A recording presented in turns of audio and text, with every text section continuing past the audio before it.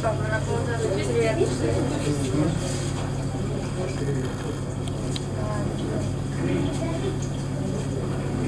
Верим, где пытается хиты.